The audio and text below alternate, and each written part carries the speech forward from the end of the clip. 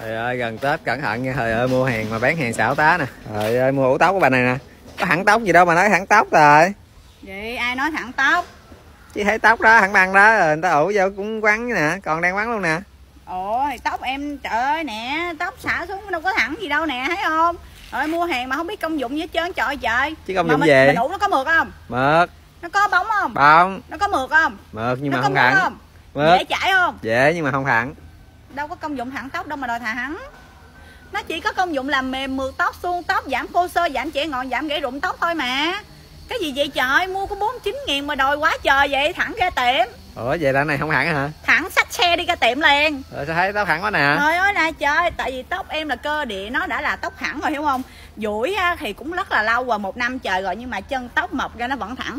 Đó quan trọng là em biết cách dưỡng em biết cách ủ. Em ủ tóc một tuần lễ ha ba bốn lần thậm chí là năm lần luôn. Nghĩ sao em xài qua hũ gần hũ thứ bảy rồi mà không ok thì sao được?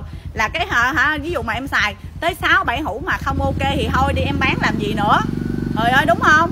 Trời ơi là tóc của em nó cũng phải ngon hơn anh chứ. Anh mới mua con hũ về mà anh đòi hẳn là sao chạy? Ai biết tôi mới ủ lần đầu thấy nó không thẳng Còn tóc tôi đang quắn mà.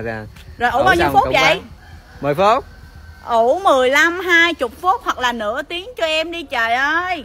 Một hũ là nửa ký lô hai hũ là một ký Vậy một là không có công dụng làm thẳng tóc đúng không? Đúng không có công dụng làm thẳng tóc mơ đi. Mơ đi dẻm thẳng tóc đi ra tiệm đi chạy thẳng ra tiệm á.